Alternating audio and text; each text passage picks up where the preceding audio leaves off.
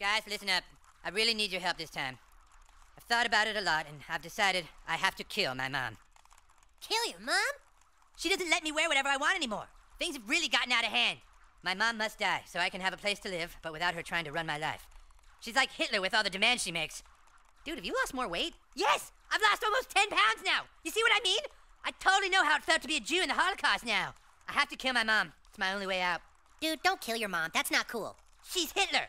Would you have killed Hitler if you had the chance? Alright, now here's the plan. At 9.45 tonight, I will sneak out of my room and leave the house, leaving the back door unlocked.